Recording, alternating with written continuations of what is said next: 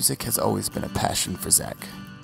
Starting at a young age playing violin, his talents quickly began to grow to include guitar, piano, and vocals. Folk was Zach's first passion, and because of that, he and a few friends started a band in high school called Salem Speaks, and it quickly became a rather big hit in Winston-Salem. You can hear one of their songs right now on this video.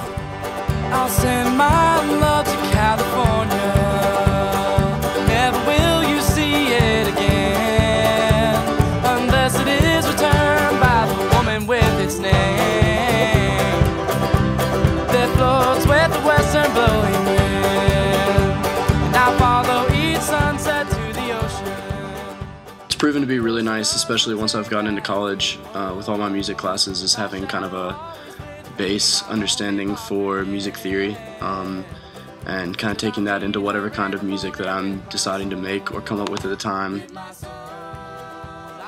As Zach grew up, so did his interest in music, and he has recently expanded his knowledge in music by moving to a new genre EDM. EDM is technically termed electronic dance music, but sort of like rock, has so many subgenres.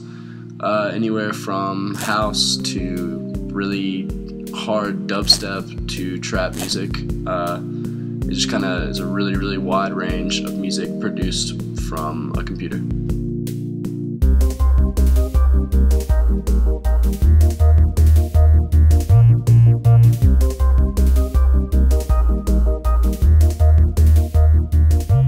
Is so unique because I don't really know another type of music that offers the pure energy and volume that uh, electronic music does.